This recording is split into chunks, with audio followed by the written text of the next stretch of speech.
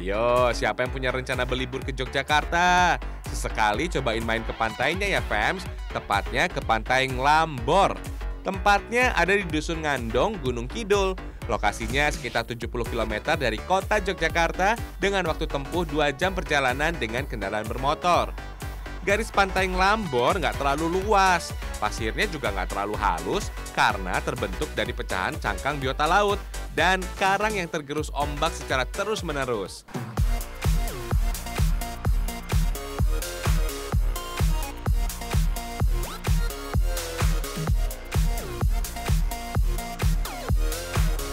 Kali ini kita nikmati berjemur ala anak zaman now. Bisa gunakan floaties kayak gini nih. Main air juga seru loh fams. Apalagi kondisi perairan di pantai ini menyerupai cekungan atau laguna.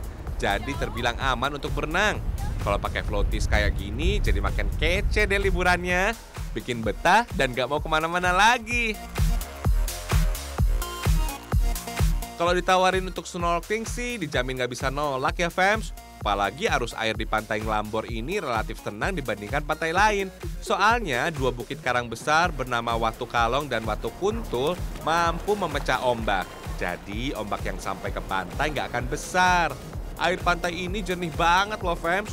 Lihat aja tuh, berbagai ikan dan biota laut sekitaran terumbu karang terlihat jelas. Oh iya fams, ada beberapa hal yang harus diperhatikan saat snorkeling di sini. Kita nggak boleh menginjak terumbu karang. Jadi harus hati-hati saat berenang ya fams.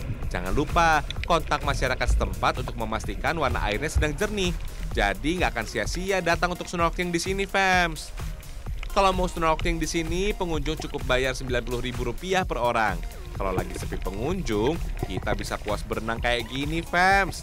Asik! Kalau lagi rame sih, cuma dikasih waktu sejam aja, fams. Jadi, biar gantian gitu. Hehehe.